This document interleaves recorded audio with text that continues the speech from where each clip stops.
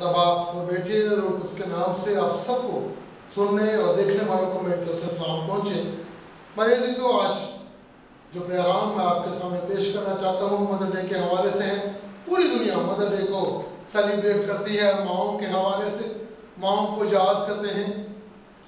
مسیحت میں ہمیں سب سے بڑا جو حکم ہے، وہ خدا نے اپنے احکام میں یہی دیا ہے کہ تو اپنے ماں کی اور اپنے باپ کی عزت کر۔ اور یہ واحد حکم ہے جس کے ساتھ ایک وعدہ بھی ہے، جس میں خدا سے پاتے ہیں، تاکہ تیری عمر اس ملک میں جو میں تجھے دیتا ہوں دراز ہو۔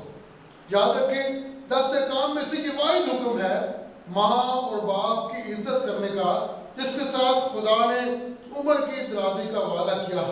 لہذا مدر ڈے پہ ہمیں خدا کے اس حکم کو یاد کرنے کی ضرورت ہے اور دیکھنے کی ضرورت ہے، کیا ہم اپنی ماؤں کی عزت کرتے ہیں، کیا ہم اپنے والدین کا خیال رکھتے ہیں؟ صرف مدر ڈے کو فنکشنز میں، تقریبات میں منانے سے مدر ڈے کی جو اہمیت ہے، وہ اجاگر نہیں ہو سکتی۔ مدر ڈے کی اہمیت اس خدا کے کلام کے تفیل ہم اجاگر کر سکتے ہیں۔ ہمارے لیے ماں کا جو پیار ہے، ماں کی جو عزت ہے، اس کے لیے خدا مند یسو مسیح نے ایک مثال بنا کر رکھ دی۔ جب وہ سلیب پر تھے، جب وہ انتہائی دکھ کی حالت میں تھے۔ اس وقت بھی انہوں نے اپنی ماں کا خیال کیا اور اپنی ماں کو اپنے شاگرد سے لکھا ہے کہ جس سے وہ محبت رکھتا تھا، اس کے حوالے کیا اور اس سے کہا کہ دیکھ، تیری ماں یہ ہے۔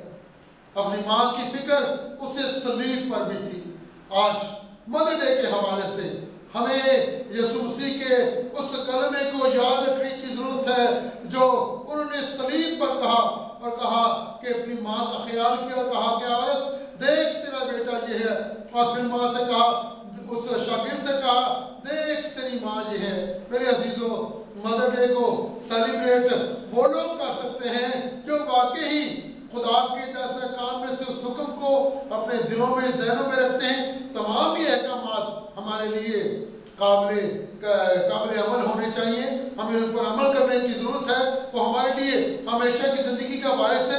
لیکن مدر ڈے پر خاص کر میں اس خدا کے حکم پر زور دیتا ہوں، جس میں لکھا ہے، تو اپنے ماں کی اور اپنے باپ کی عزت کرنا، تاکہ اس ملک میں جس یہاں پر تو جاتا ہے تیری عمر دراز ہو۔ اور پھر مدر ڈے پر ہمیں مسیحا کے سلیب پر کہ اس کلمے کو بھی یاد رکھنے کی ضرورت ہے۔ جو اس نے اپنی ماں کے بارے میں کہا، اور کہا، عورت، دیکھ، تیرا بیٹا یہ ہے۔ اور بے شاگرد سے کہا، دیکھ تیری ماں یہ ہے. اور ان دونوں باتوں کو ذہن میں رکھتے ہوئے ہمیں اپنی ماں کی عزت کرنے کی ضرورت ہے۔